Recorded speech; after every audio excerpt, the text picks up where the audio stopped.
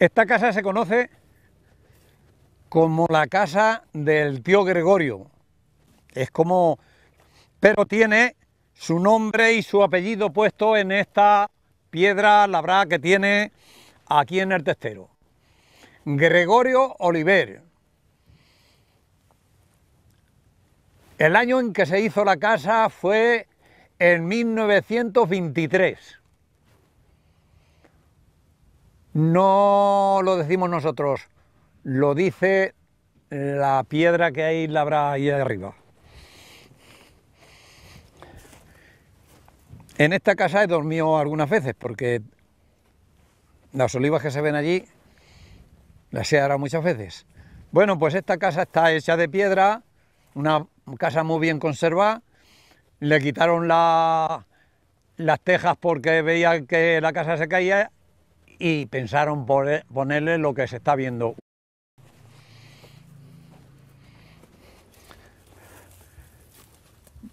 La casa la tienen aquí abierta y dice que la cierren. Que cierren la puerta. Eso vamos a hacer cuando terminemos de hacer lo que queremos.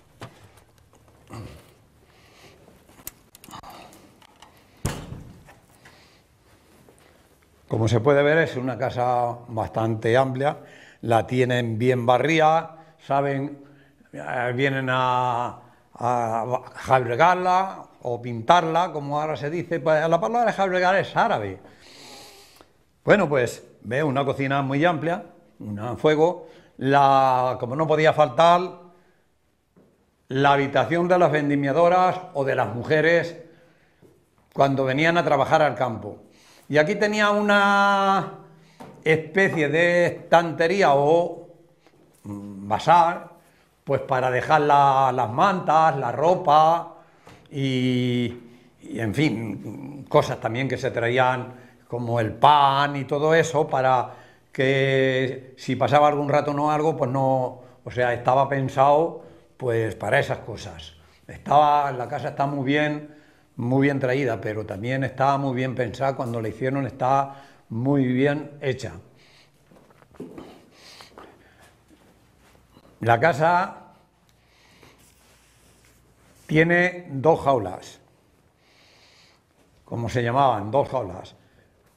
Pero como la casa es ancha, en cada pesebrera de estas a falta de que, eh, como muchas veces, pues entonces cuando todo se hacía con animales, con mulas, pues había veces que estaba la cosa apretada, que venían cortas las quinterías que, había situadas por el, sector. Y entonces hasta se podían poner tres mulas en cada lado. Tres mulas, tres y tres, seis, y tres, nueve y tres, doce. Doce mulas.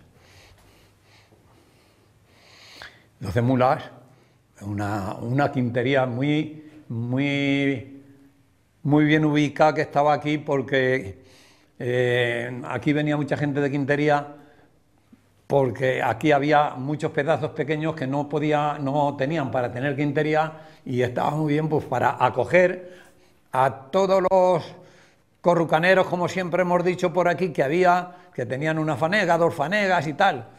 Pues estaba en un sitio muy bueno. Estaba Quintería ha sido muy acogedora por los dueños y por la casa, que, ha, tenido muy buenas condiciones para dormir y para, estar en ella, muy cómoda. Y con, al pie del cañón que tenías el pozo para dar agua. Entonces era una buena quintería. Lo que hace falta es que la gente la respete y que los dueños sigan tratándola como hasta aquí la han tratado para que se conserve. Y esto es lo que, lo que hay, no podemos decir más, no podemos decir nada más que a todo aquel que la visite, que la respete, como nosotros la vamos a respetar. Hemos grabado, la vamos a dejar cerrada conforme estaba y, y que tengan el ejemplo de los que vamos pasando por aquí a los que vienen detrás para que sigan, como digo, respetándola, que merece la pena. Está para mm, mm, todo el que quiera venir a ampararse a ella, a, visitarla, a tener el gusto de, ver lo que hay aquí, lo que dejaron mm, los que ya no existen.